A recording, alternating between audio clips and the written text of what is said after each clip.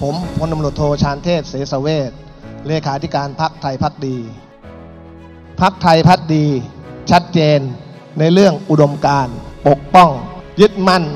ในสถาบันหลัก อันได้แก่ชาติ ศาสนา พระมหากษัตริย์ และยึดมั่นในการปกครองแบบระบอบประชาธิปไตย อันมีพระมหากษัตริย์ทรงเป็นประมุขผมเชื่อว่าทุกท่าน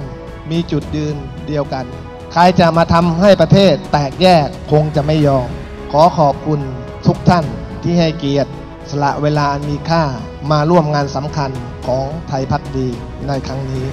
การจัดกิจกรรมระดมทุนของพักไทยพักดี ภายใต้แนวคิด ลบแตกหัก คนโกงชาติ ปฏิวัติพลังงานพรุ่งนี้รวย วัตถุประสงค์เพื่อนำไปขับเคลื่อนส่งเสริมกิจกรรม ให้เกิดประชาธิปไตยที่ยั่งยืน ขอให้ทุกท่านมั่นใจได้ว่า เงินทุกบาท ทุกสตางค์ที่ทุกท่านให้การสนับสนุนพักไทยพักดี จะใช้อย่างคุ้มค่า โปร่งใส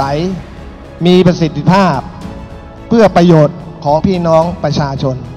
เรามาเพื่อพัฒนา เรามาเพื่อปฏิวัตินวัตกรรม เรามาเพื่อช่วยให้พี่น้องประชาชน มีชีวิตที่ดีขึ้นอย่างยั่งยืน